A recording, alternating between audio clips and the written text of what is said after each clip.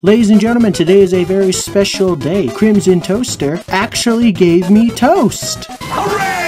Hello everyone and welcome to episode 118 of ASA, my Q&A series where I answer your questions. As always, before I get into the questions, I just want to give a huge massive thank you for the support in the last episode of ASA. It always just means the world to me when people actually watch my videos and then take the time to comment, you know, ask questions, leave likes, all that stuff, maybe subscribe. It's just, it's wonderful and I greatly just appreciate it. Anyways, let's get straight into the questions starting with Alex Debrimer. I, I think I said that right. I probably didn't. ASA, would you be absolutely hyped if LEGO did a play scale version of the Rebels AT-AT? I absolutely would be because though it's not my favorite version of the Star Wars AT-AT because, you know, with Star Wars Rebels, the animation was a little weird at times and it's kind of like square-headed, but I still think it's pretty cool. And I think if LEGO decided to make a Rebels version of the AT-AT, I think it would be pretty cool and I definitely would buy it. It would probably be about $170 if Lego released one like this year or next year. But I would I would get it. I think that would be really cool. And especially if it came with some more of the Star Wars Rebel stormtroopers because I love those guys. They're great. But yeah, I definitely would be hyped for that and I would love to see it. So that's actually not a bad idea and hopefully Lego someday does that. But I don't know if they ever will.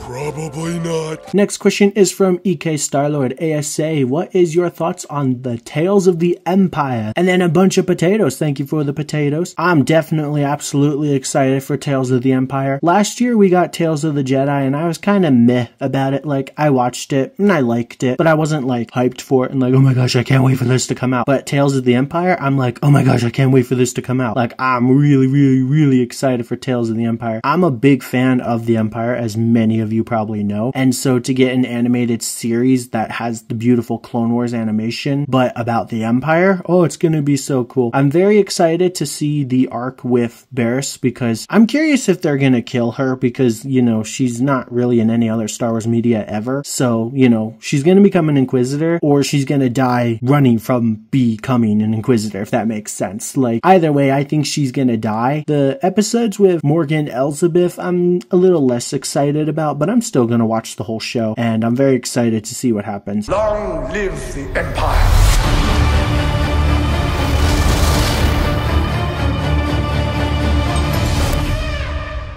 Next question is from TG Collects ASA. What would you do for 1,000 subs? Nothing!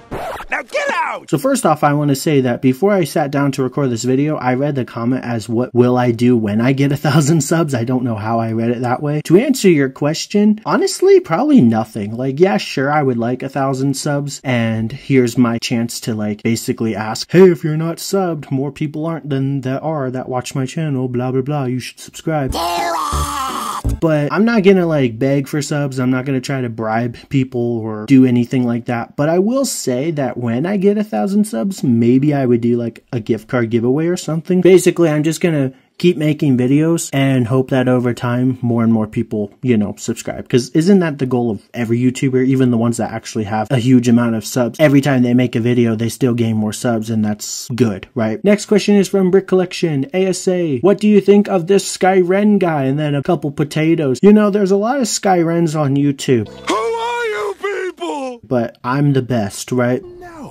Because there's a lot of people like I'm Skyren with capital S K Y, capital R E N, because I'm cool. The rest are fakes or imposters. But if you're talking about me, I- I'm a weirdo. That Skyren guy, the guy that likes potatoes, he's weird, and he owes me five dollars. Next question is from EK Starlord. ASA, this might sound like a weird question, but have you ever watched the TV show Bluey and then a couple potatoes? Actually, that's a lot. Thank you for the potatoes. So I've never actively sat down to like watch an episode of Bluey, but I know what it is. I've seen it. In fact, one of my jobs is that I do childcare at my church, and the kids sometimes like to watch Bluey, so I've kind of watched episodes while watching the kids. I think it's a pretty humble show. I don't think there's anything wrong with it. The animation is very nice, and the storytelling is pretty mature. It's not like chaotic and just like barfing rainbows in your eyes and, you know, like screaming and yelling and fighting. Like they're actually nice to each other most of the time, or they deal with moral issues to like like teach kids like, hey, if someone's doing you wrong, this is how you deal with it. And so I can respect that. I think that it's a pretty good kind of like educational, if you will, show. I like the animation, like I said. So I like Bluey, but I've never actively watched it and I don't plan on it, but I like it and I think it's cool. Next question is from Mayo Husko. ASA, what Star Wars fig do you want to be re-released? The first one I had to go with is the Star Wars Rebel Stormtrooper because that's my favorite Lego Star Wars Stormtrooper ever made. But then I would go with the other Lego Star Wars Stormtrooper that released around the same time as it, well actually before. And that's simply because I think that that helmet is much better than the helmet design that we have now.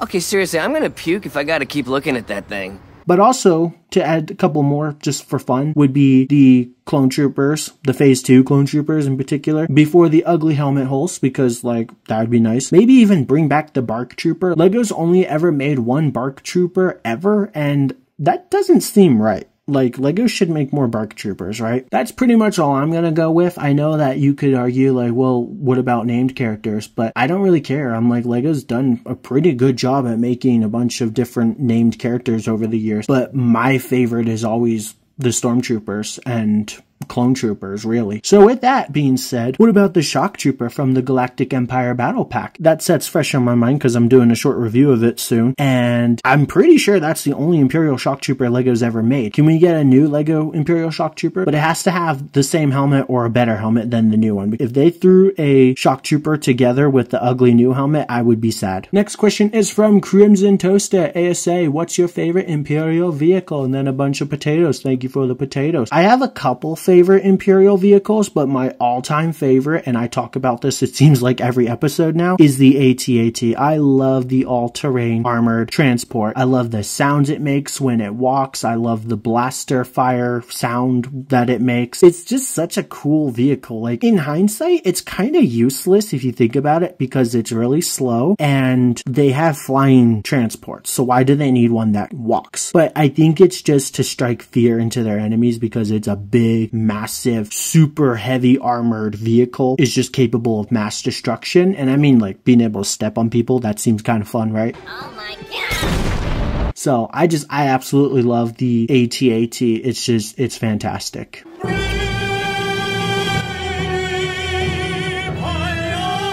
Next question is from Scott Davis, ASA. Would you ever consider writing a book with potato recipes in it and then a couple potatoes? Thank you for the potatoes. That's not a bad idea, but I'm terrible at spelling and all that, so probably not. And the last question is from EK Starlord, ASA. ASA, what is your most anticipated movie of 2024? For me, it's Deadpool and Wolverine. And then a bunch of potatoes. Thank you for the potatoes. I'm actually gonna go with Deadpool and Wolverine too. Like, I'm very excited for that movie. I love the first two Deadpool movies. Ryan Reynolds does such a fantastic job bringing Deadpool to life. And so I'm really excited to see what they do. And maybe, probably not, but maybe it'll be better now that it's in the MCU because now they can use other characters like Spider-Man or something. I doubt they would, but that would be so cool. But I'm definitely excited for that movie because I loved the first two Deadpool movies and I'm just excited to get another one. Anyways, that's it for today's questions. Thank you all very much for watching. I greatly appreciate each and every one of you. If you have a question that you would like to ask for the next episode of ASA, leave it down below in the comments. And while you're down there, maybe leave a like and subscribe if you're not, blah, blah, blah. And the last thing I want to say is if you're interested in checking out some short reviews that I've done, I recently did some Battle Pack shorts from 2016. So if you want to check those out, they're available in the cards. Have a wonderful day, and I will see you guys next time. Goodbye.